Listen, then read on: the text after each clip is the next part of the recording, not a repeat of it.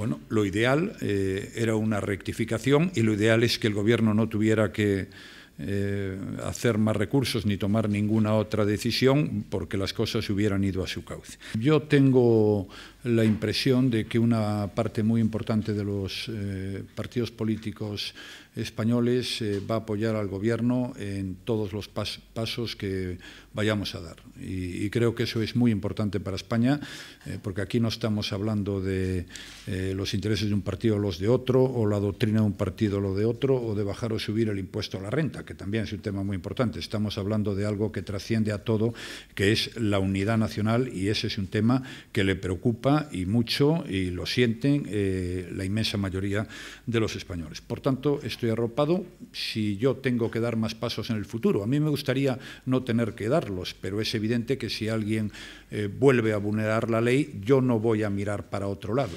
Yo consultaré con los grupos políticos, porque creo que estas eh, decisiones es mejor eh, tomarlas con el apoyo de una gran mayoría y, tomaré la decisión que tenga que tomar. Eh, yo en este momento no tengo previsto tomar a día de hoy ninguna otra decisión. creo que es muy importante lo que ha hecho el Tribunal Constitucional.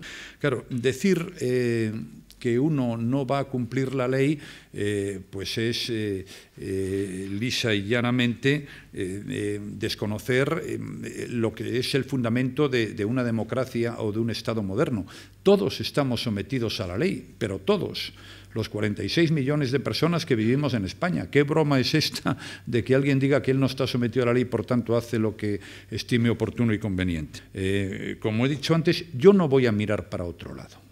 No voy a mirar para otro lado porque estamos hablando del asunto más serio que tiene España en estos momentos.